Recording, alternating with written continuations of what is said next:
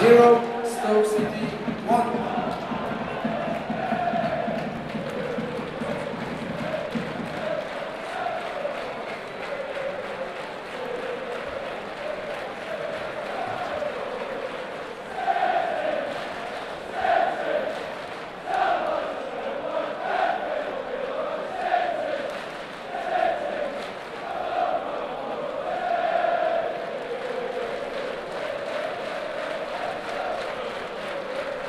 Dear supporters of Stoke City, thank you very much for your visit to the arena too. Wishing you all a nice evening and a good journey home.